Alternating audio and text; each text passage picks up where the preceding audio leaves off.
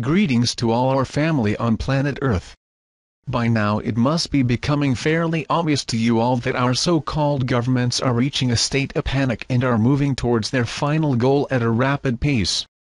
Although this may seem like a dangerous situation to you all, do not fall into the trap of fear, you can rest assured that their fear is much greater than yours.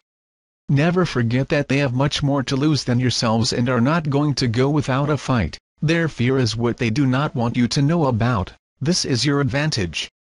We urge you to get together in your communities and have the realization that all the power is in your hands, mass non-compliance must now be enforced by all the awakened ones and more effort must be made to awaken the others. Stop paying your taxes, stop paying your mortgage, only buy things you need to survive, grow your own food, help those without the understanding of common law, Never forget the legislature and statutes being written do not apply to any of you and never did, accepting them and complying with them is a consent to them. Never forget that it is you who is giving them their power by complying to everything they throw at you. If you continue to do the same things in your daily lives you cannot expect anything to change. Our time has come, the time is now, your brothers and sisters are relying on you, will you disappoint?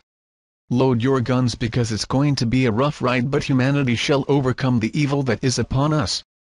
Their power is nothing but an illusion, that is exactly what they fear, the people awakening to their weakness is something they never planned for, use it wisely.